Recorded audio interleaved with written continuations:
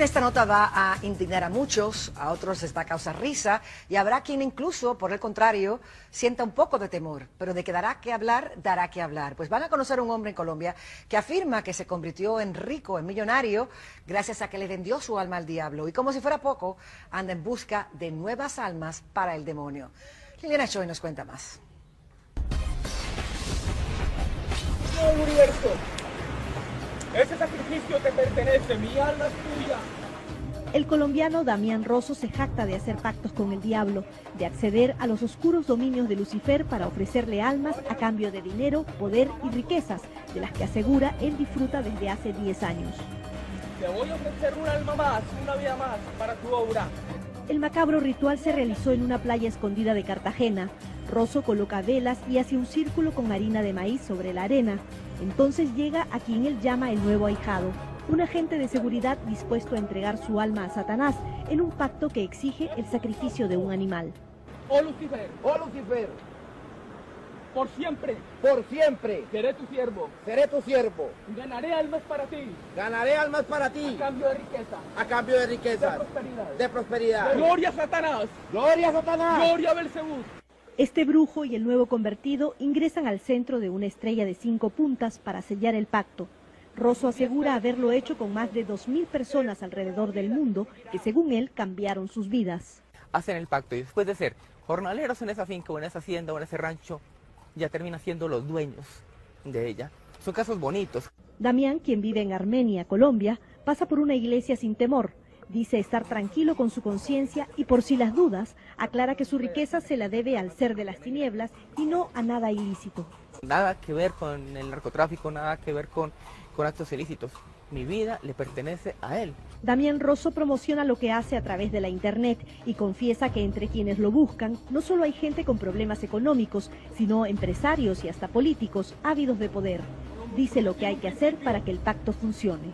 Darle gracias a Lucifer por el día de placeres que me brindó, por la abundancia, por la comida, por el techo, por el coche, por todo lo que me brinda. Este hombre asegura llevar una vida muy normal y estar preparado para hacer frente a las críticas y cuestionamientos por lo que hace. Liliana Choi, Telemundo. Bueno, les dije que a muchos los iba a indignar y con razón, y al escuchar esto, más aún todavía. Damián dice que proviene de una familia muy católica, que al inicio lo criticaba, pero que según él cambió de parecer cuando vieron las riquezas y beneficios que ostentaba. Así que, de ser cierto, pues definitivamente que no eran muy católicos para comenzar, que digamos.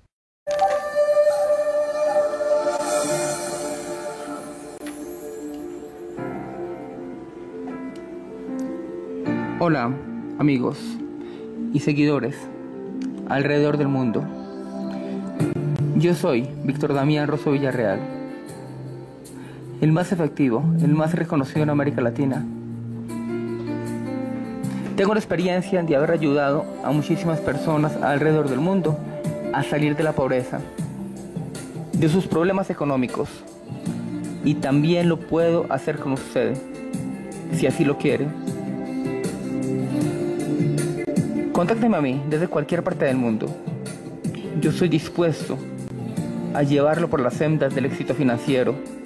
Únicamente contácteme y se dará cuenta cómo la bendición de Lucifer cambia su vida radicalmente.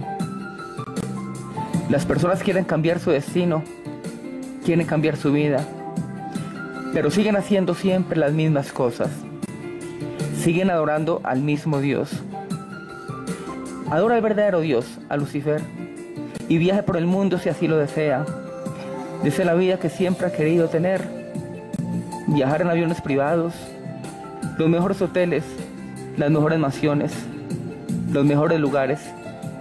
Pero tiene que entregar su vida, su ser, su alma a Lucifer. Contáctenme a mí. Yo les enseño cómo acercarse a Él, a ese ser maravilloso, a ese ángel de luz.